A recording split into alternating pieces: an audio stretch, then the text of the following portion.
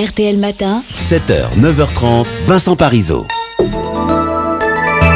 Il est 8h15 et ce matin, Yves Calvi, votre invité est un chirurgien cofondateur de Médecins sans frontières et Médecins du Monde. Bonjour Jacques Berès. Bonjour. Merci beaucoup d'être avec nous en direct. Euh, vous êtes chirurgien, cofondateur de Médecins sans frontières et Médecins du Monde. Comme vient de le rappeler Vincent, vous êtes vous-même intervenu deux fois en Syrie pour tenter de sauver des vies et réparer les corps euh, mutilés par les armes qu'utilise le pouvoir euh, pour massacrer sa population. Hier soir, le président Hollande évoquait pour la première fois la possibilité d'une intervention armée.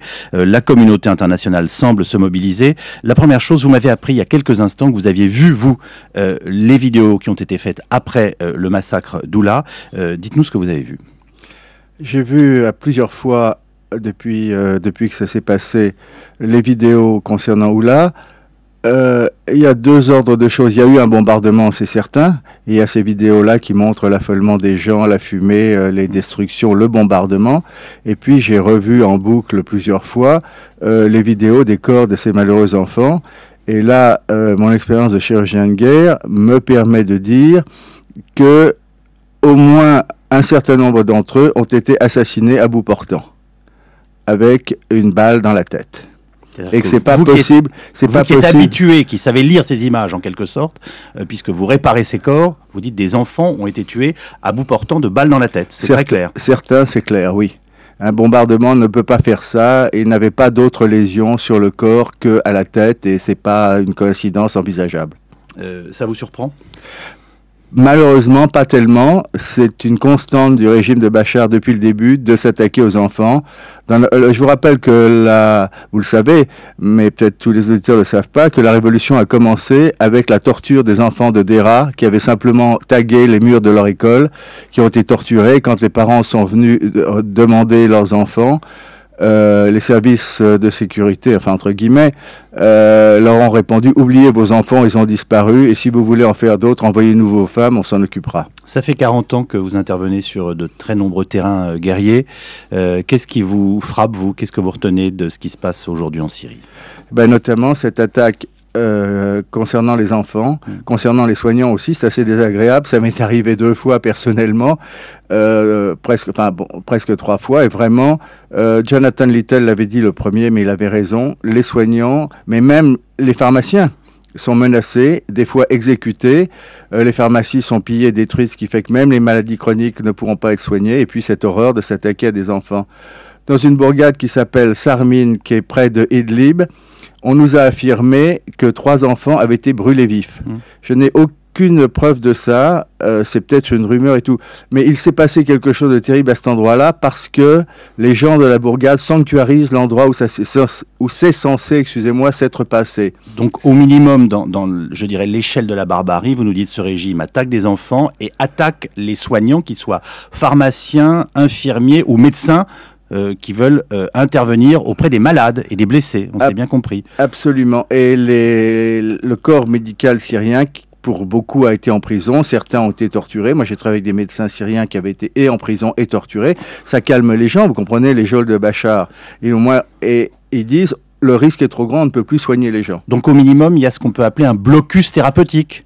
Absolument. Et c'est un pas en avant dans la barbarie. Euh, que, que- que disent les observateurs avec qui vous êtes en, en- que disent les, les opposants, pardonnez-moi, avec qui vous êtes en contact?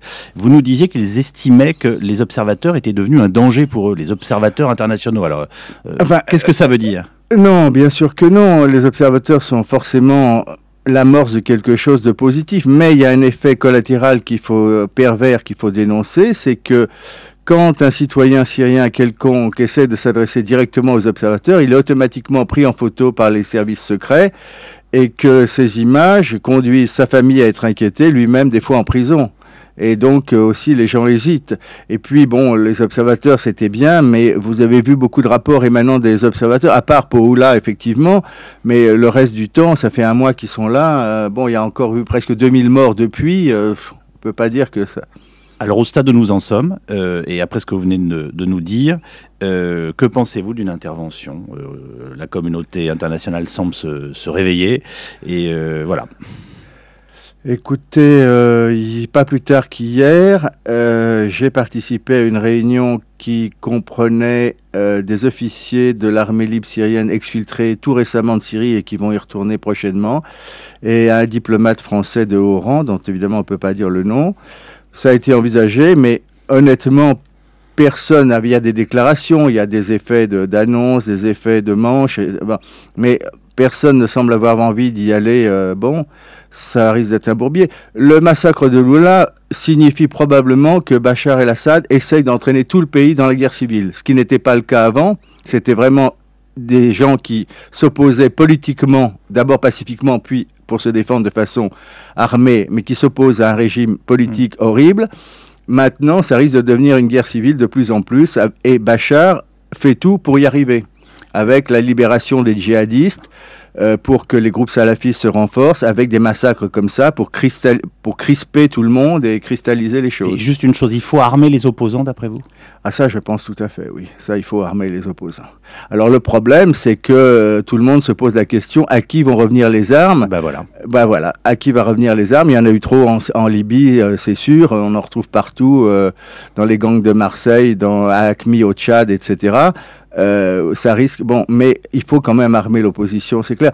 Le général Hachem, qui est une figure éminente de l'opposition, était interviewé hier sur CNN, hier soir sur CNN, et il a dit des choses très justes et très importantes sur l'armée syrienne dont tout le monde se fait une montagne, en rappelant que leur niveau de morale, leur niveau de corruption n'en faisait pas probablement une armée hyper efficace. Pour massacrer une population, ça va, mais s'il devait s'affronter avec une armée euh, en face, euh, probablement il s'écroulerait assez vite. Merci beaucoup Jacques Berès. Je rappelle que vous êtes chirurgien, qu'il y a un peu plus d'un mois, vous étiez encore en Syrie.